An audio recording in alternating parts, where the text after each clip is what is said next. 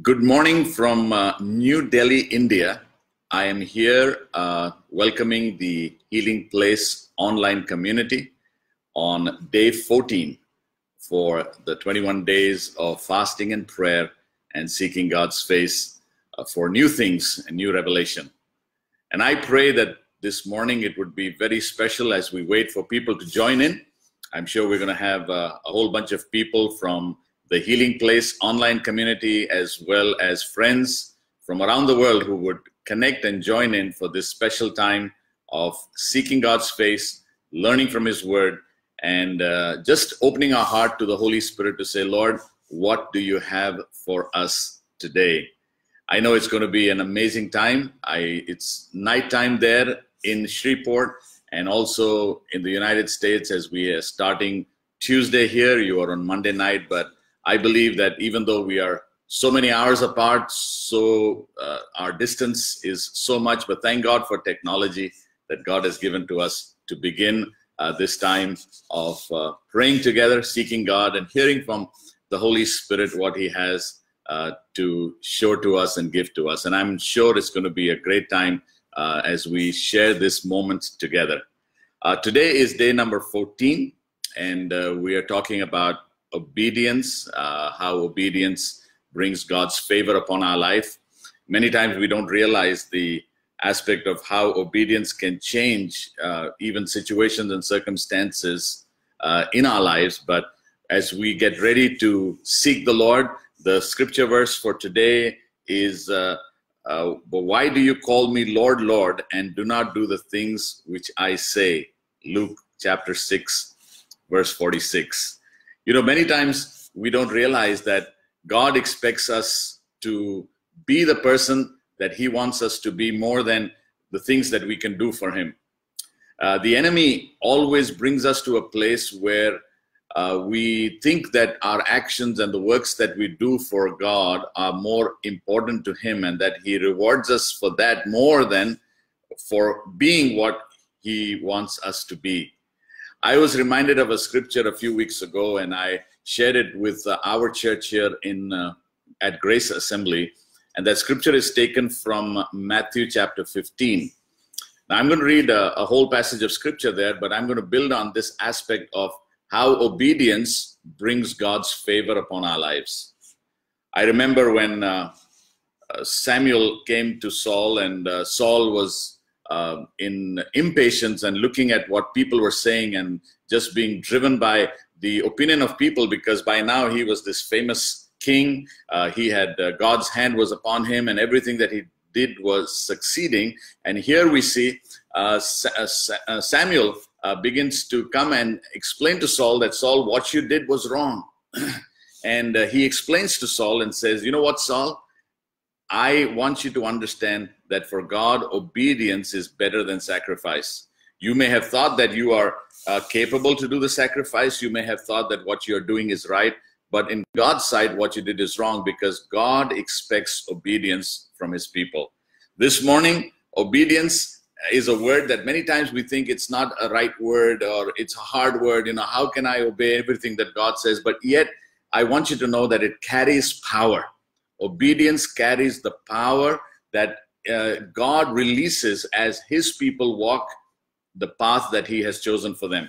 You know, God's word does not lie. When you read God's word, you understand that God's word is so true and so powerful that when we begin to not only read it, but become doers of that word, suddenly favor hits us.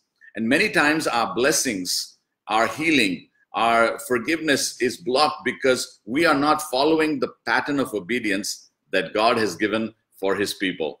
And if you've joined in now, or if you, I, I would really encourage you to, to begin to share this with your friends, this video, and let others know because there may be some this morning who are at that point where God wants to release his favor upon them, but due to lack of obedience, uh, that they are not receiving the favor of God. You know, many times when we when we look into our lives, we see there are certain areas that may seem very insignificant to us, but to God, even those small areas are very, very important. The enemy wants us to believe that if I go to church or if I do these Christian things, that God is pleased because sometimes Christian traditions and Christian things that we do in our life, uh, we think that those things, when we do it, God is pleased because everyone is doing it and it looks so good on the outside. But the Bible says that God sees our heart, our motives on why we do what we do. Our dedication to God is not enough unless it is completed with obedience. And let me read this scripture for you, though it's a little long scripture, but I think it's going to be meaningful to us this morning. It's taken from Matthew chapter 15. I start from verse number one. Then some of the Pharisees and teachers of the law came to Jesus from Jerusalem and they asked him, Why don't your followers obey the unwritten laws which have been handed down to us? Now, this is from the New Century Version translation. Now, there, there were things that God had given Moses and the people of Israel to follow, but apart from that, there were traditions that the nation of Israel gathered together. And sometimes these religious minded people who had the Pharisee spirit uh, started to emphasize that if you follow this, this is how it's going to go. And they began to question Jesus that, you know what, if you eat food without washing your hands like your disciples do, it's going to uh, bring God's judgment over you. And this is what Jesus said to them. Uh, Jesus said that, and they said they don't wash their hands when they eat. And Jesus answered, And why do you refuse to obey God's command? So that you can follow your own tradition. Why do you refuse to obey God's command in lieu of the traditions that you have? in other words, the Pharisees were emphasizing their traditions even over God's command. Today we're talking about obedience. Sometimes the enemy wants us to feel that, you know, what we do is all right. You know, look at the others. They don't do this, but at least you do it. They don't go to church, but at least you go. And many times we use that as a balance to see the favor and the blessing of God. But this morning, the Holy Spirit is reminding us again it's not on tradition, it's not on our religious practices that God is pleased, not on what we do, but how we are in relationship to God. And for God, your obedience is the key for Him to release His favor and blessings over you. Even though we are fasting and praying, uh, even though we are seeking God, but unless we walk in obedience, our fasting and praying is also in vain. And I pray this morning that we would take this word very seriously because as I was preparing for this over the past few days, I began to search my own heart and say, God, is there anything in my life that I have uh, missed out uh, in, in, in relationship to what you want me to say. When we seek God, when we want the favor of God, the presence of God in our life, we cannot enter His presence and experience His presence unless we walk in obedience. And as we continue the story, this is how it goes. This is what Jesus is, is saying to them. Uh, Jesus said, God's told you to honor your father and mother, and anyone who says cruel things to his father or mother must be put to death. But you say a person can tell his father or mother, I have something I could use to help you, but I have given it to God already. You teach that person not to honor the father or mother, and you reject what God is saying for your sake. And in the New Century Version, it says, for your own set of rules you not only honor don't honor your father and mother but you put god as the reason why you're not doing it. But that was not true. And he says because of traditions and jesus uses these words you are hypocrites. Now i want you to take this word very seriously. It may look like a strong word this morning but as we are into this season of fasting and prayer the purpose of fasting and prayer is not to twist god's hand to do things for us answer our prayers but to align ourselves our will to the will of god and that requires obedience. You know, if we begin to align ourselves to God's will, we begin to release God's favor in a way like never before. Even as we are going through this time of talking about obedience, if you have prayer requests, if you have needs, just begin to type it in. If you have questions, if you want to say something uh, this morning, just begin to type it in because I believe the Holy Spirit is going to release such a, a favor upon us today like we have never experienced before. We are talking about obedience and how obedience can revolutionize our life, how it can change the very aspect of what we have been looking at. And many times we are at the threshold of our breakthrough we are at that place where God says, you know what, your breakthrough is just around the corner. But because of lack of obedience or incomplete obedience, incomplete obedience, we are not seeing God's hand move over our situation. Sometimes situations and circumstances come just in our life. Everyone faces them, but only obedience will give you the breakthrough to get through those circumstances and those situations. I realize that many times people serve us things that we don't want to have. Our life is filled with garbage and stuff that people throw into our life, but it is not what we receive from the people, but how we react to those situations and walk in obedience that brings God's hand over us my challenge to you this morning or this evening where you are that as you uh, end this day and begin the new day that you would really ask the holy spirit say holy spirit please help me to walk in that area of obedience. Now many times we are walking in disobedience but we don't realize that we are walking in disobedience. Simply because like i said the people around us do the same things. It seems good to us. It seems like this is how it is supposed to be done just like the pharisees. They thought giving to God, uh, you know, something that uh, they thought they could offer God. And then they said, we could neglect our parents, but that's not what the scripture or God taught them to do. God says, honor your father and mother. And Jesus was just taking this one aspect.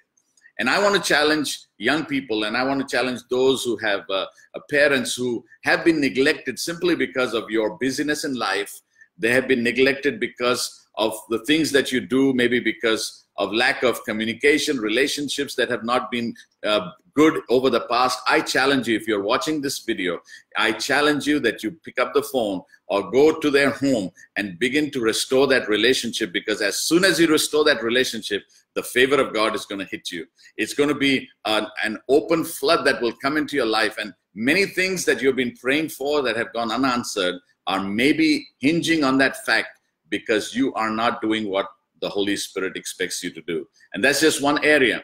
And I, I, really challenge you because many times we think in this modern world that we're living in, and we begin to neglect those that God has put under our care. And if you are doing that, if your heart of compassion towards those people, and especially your parents, is not what it should be, I challenge you this morning.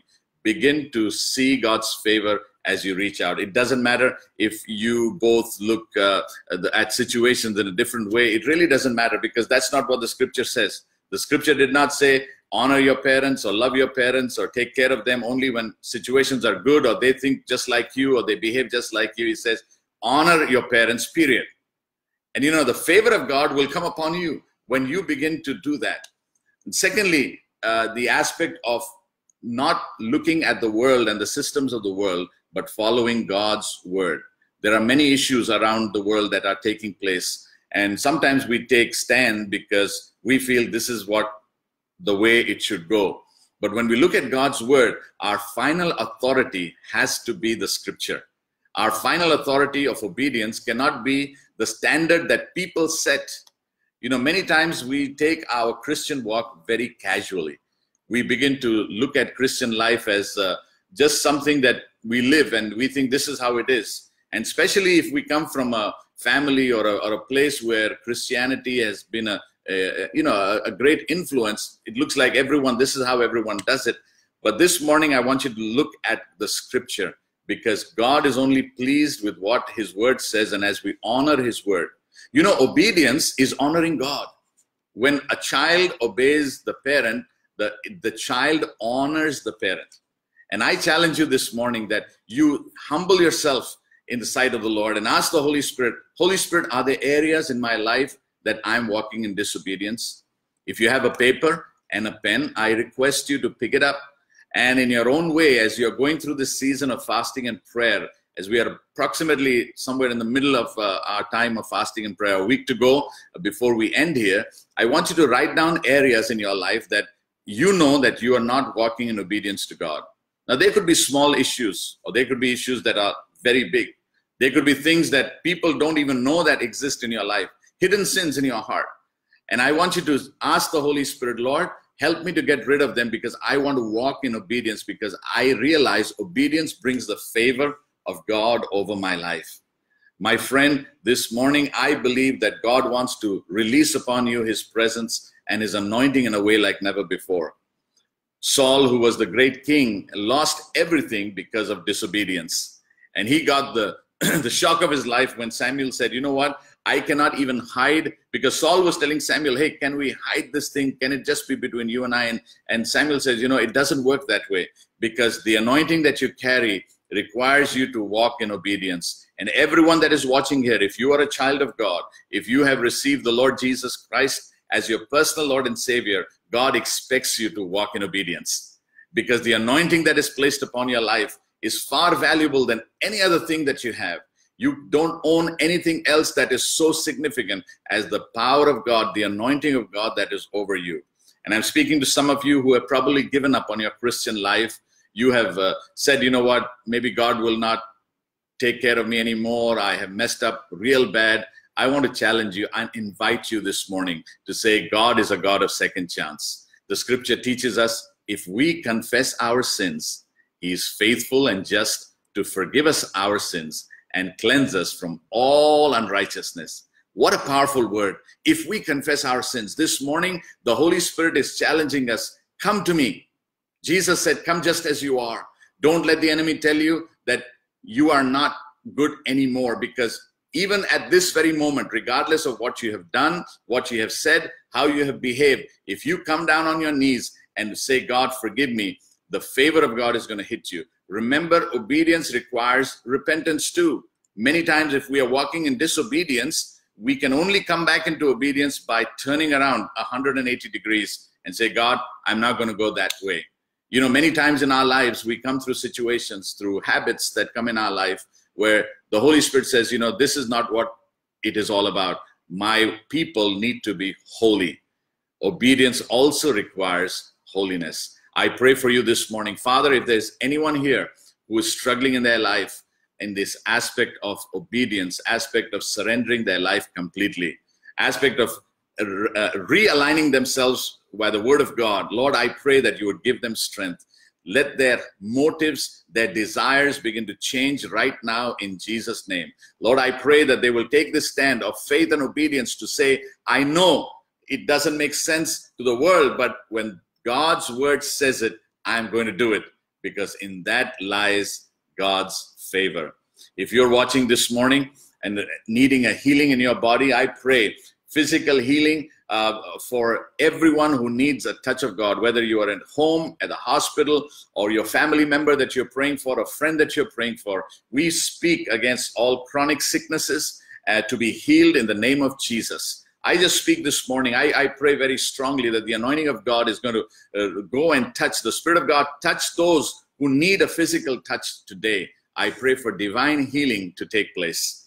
And finally, this morning, as we kind of recap on what we are talking about, remember Jesus said this the, the question that was asked to Jesus was, Why do your disciples disobey the old age traditions? The Pharisees were more concerned about that, and the answer of Jesus was so simple and why do you, by your traditions, violate the direct commandment of God? And so you cancel the word of God for the sake of your own traditions. This is from the New Living Translation.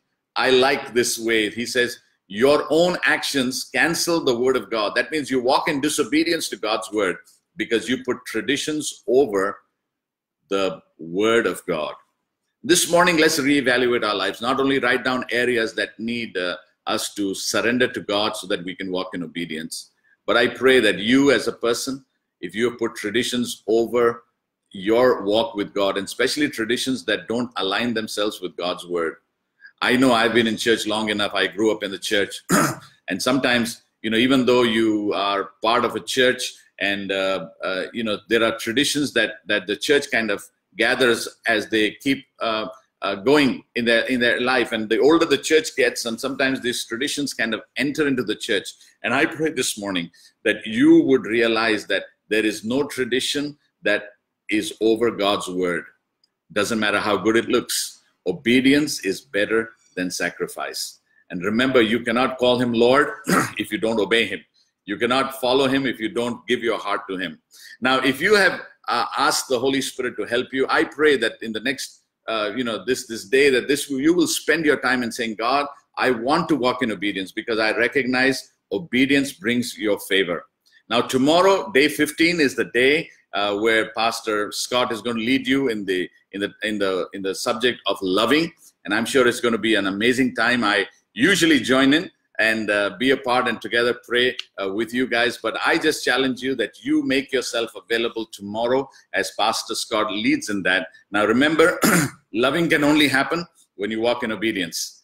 You cannot say you love somebody if you don't obey that person or you don't have that relationship of, of, uh, of following the teachings of that person, especially when it concerns our Lord and Savior. I'm going to end with a word of prayer and ask God to give you the courage to walk in obedience. Some of you young people that are watching here, I know the struggles that you're going through, uh, your peer pressure and other things that that sometimes makes you uh, look different, think different, behave different, uh, simply because of the pressures that you're faced with. But I pray, take a stand for the Lord, because obedience will bring God's anointing. Obedience will bring God's favor over your life. Dear Lord, I pray for everyone that is watching here, and I pray for those also who are going to watch this. Uh, um, uh, thing later on on Facebook. I just pray, dear God, that you would just speak to their heart. And this morning, I pray that those who watch this will take this stand and say, you know what? We are going to walk in obedience. No longer we're going to compromise our walk with the Lord. I cannot call Jesus my Lord if I don't obey his commandments. And Lord, we know that you have not put such commandments that are impossible for us to obey. But Lord, I pray that we would realize and recognize and realign our commitment by the aspect of obedience. God bless you. Have a great uh, evening. Sleep well. Uh, and we have a whole day as we start Tuesday here. But I pray that you would have a great time as you ponder upon this thought to say, Lord, help me walk in obedience. God bless you. See you next week uh, as we conclude the 21 days of fasting and prayer. And